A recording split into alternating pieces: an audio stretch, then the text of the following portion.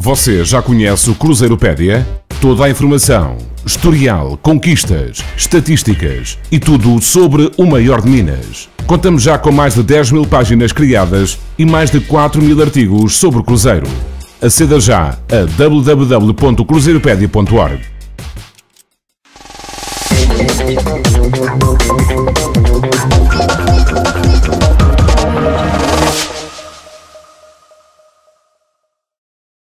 Vamos falar sobre o Cruzeiro.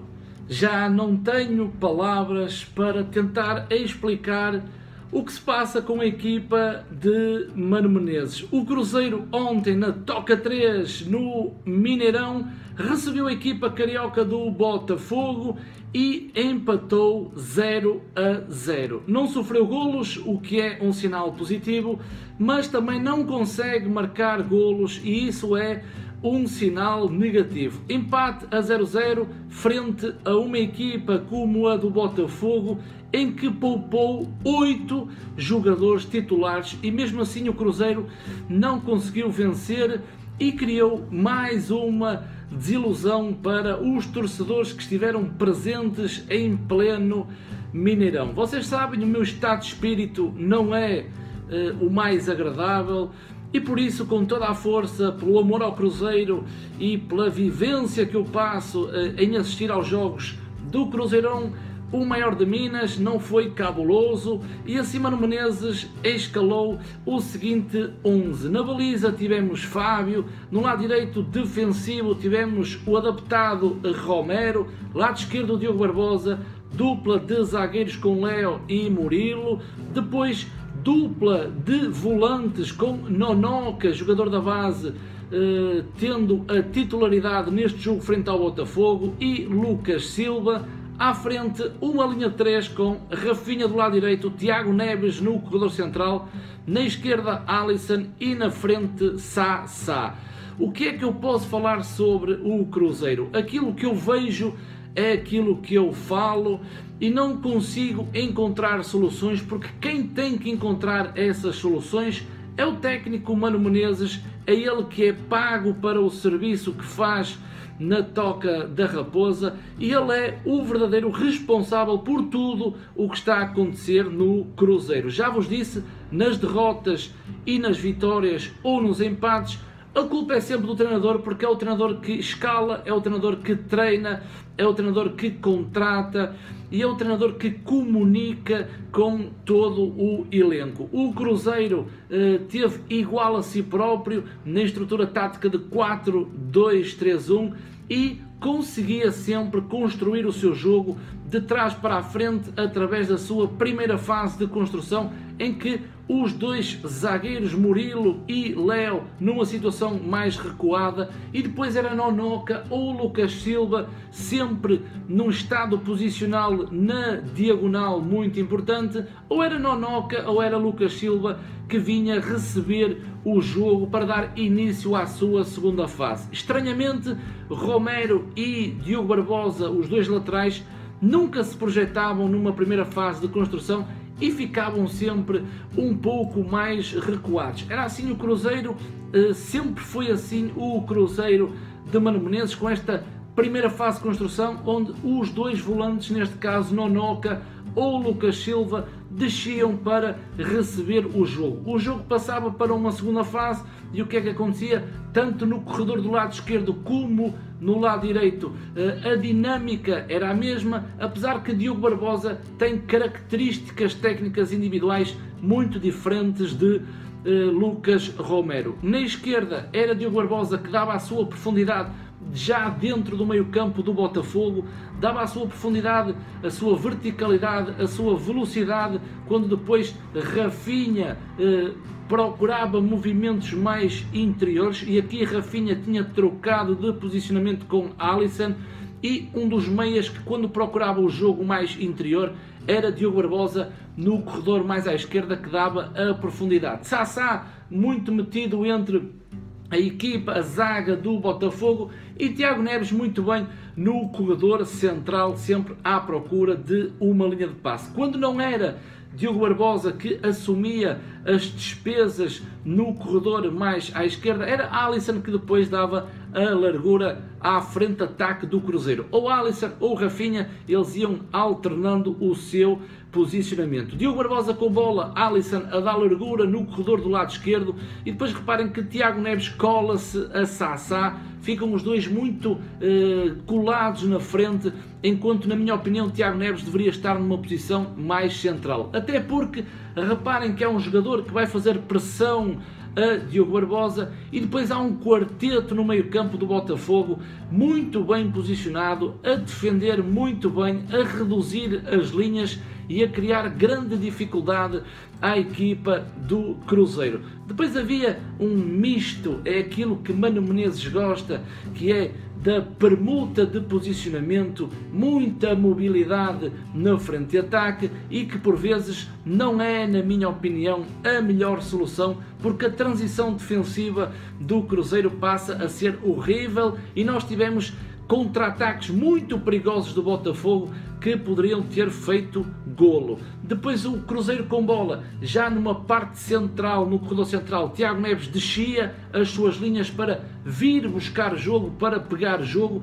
e reparem nestas trocas em que Romero está numa posição mais avançada, Lucas Silva, o volante, está colado à linha, ou seja, Lucas Silva está no lugar de Romero. Romero vai estar numa parte mais adiantada, onde deveria estar uh, Tiago Neves, mas Tiago Neves está numa posição onde deveria estar Lucas Silva. E Alisson, muito por dentro, era o meia do lado direito, porque Rafinha estava do lado esquerdo. E imaginem estas trocas posicionais que não traz grande, eh, não digo mobilidade, porque mobilidade tem, mas não traz grande eficácia à organização ofensiva do Cruzeiro. Por isso, esta, esta, esta mobilidade que existia e que existe na, na equipa de Mano Menezes não traz efetivamente aquele ataque mais poderoso em que jogos frente ao Botafogo, em que aquele futebol muito rendilhado, o passo para trás, o passo para o lado,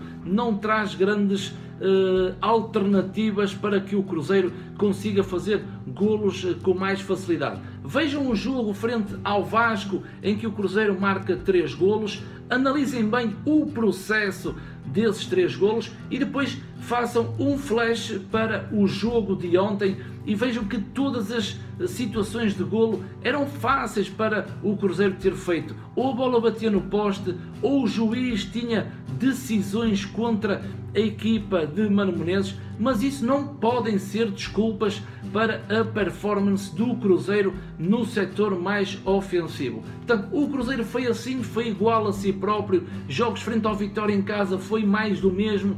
Ontem, frente ao, ao Botafogo, foi mais do mesmo.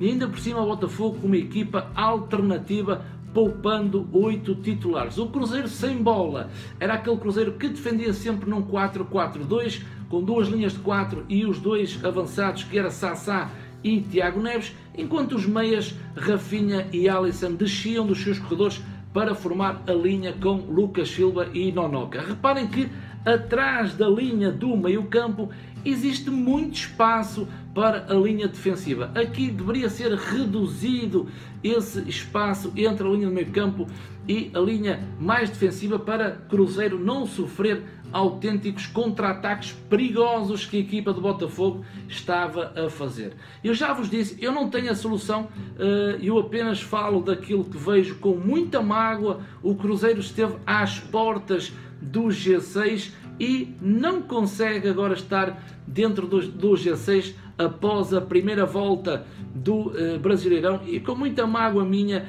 uh, ando a assistir aos jogos do Cruzeirão e depois com estes desfechos que me deixa realmente muito triste. A solução tem que ser encontrada uh, pela diretoria, porque são eles que fazem a gestão do clube, e depois sim, se a diretoria continuar a dar voto de confiança a Mano Menezes, é Mano Menezes que tem que criar uma solução para desbloquear esta fase menos boa do Cruzeiro em casa. Vou passar agora os melhores momentos, porque não tivemos golos, eu não vou uh, conseguir falar sobre golos que não existiram, então vou passar os melhores momentos para também falar um pouco com vocês e uh, estar quase a narrar aquilo que se passou dentro de campo. Uh, começamos agora com uma oportunidade do Cruzeiro em que Sassá tira o jogador da frente e remata para uma defesa de Gatito Fernandes. Foi um dos melhores jogadores do Botafogo, foi o goleiro Gatito. Aqui remate ao poste uh,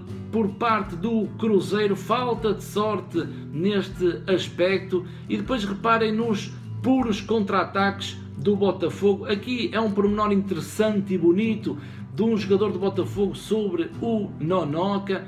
E é só este pormenor. Depois Sassá cruza e Alisson de calcanhar poderia ter feito um golo bonito. Aqui a tomada de decisão não sei se foi a mais correta, mas Alisson poderia sim ter feito o primeiro golo do Cruzeiro. Sassá mais uma vez, cruzamento e Alisson por pouco não fazia o golo do maior de Minas. Depois bola bombeada para a área numa falta cobrada pelo Botafogo e a bola vai passar muito perto da baliza de Fábio. Grande oportunidade para a equipa carioca neste cabeceamento. Depois livre para o Cruzeiro, bola por cima da defesa. Sassá falha por centímetros o cabeceamento que poderia também Cruzeiro ter feito o golo que os torcedores tanto esperavam. Cruzamento e o Barbosa Tiago Neves cabeceia e depois mais um cabeceamento de Alisson e a bola bate novamente no poste da baliza de Gatito Fernandes. Não sei se há ali um penalti sobre um jogador do Cruzeiro. Fica aqui as minhas dúvidas. Há braços do defensor do Botafogo. Aí está a lupa. Na minha opinião, há grande penalidade a favor do Cruzeiro, mas a equipa de arbitragem, o juiz não quis uh, assinalar. Não serve como desculpa. Cruzeiro teve 95 minutos para marcar um golo. Uma equipa do Botafogo que poupou 8 jogadores não conseguiu. Também não estou a gostar do discurso no final da partida, na conferência de imprensa de Mano, em que o próprio diz que se não houver vento, o Cruzeiro melhora a sua performance. São coisas que não se dizem no futebol coisas que os torcedores não caem nesse tipo de discurso e muito sinceramente o Cruzeiro tem que melhorar, precisa de melhorar.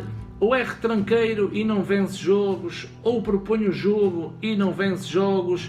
Fora de casa o índice de aproveitamento é bom, dentro de casa é péssimo. Alguma coisa tem que ser resolvida para o bem do Cruzeiro, para o bem da diretoria, do treinador, dos jogadores e principalmente para o bem de todos os torcedores.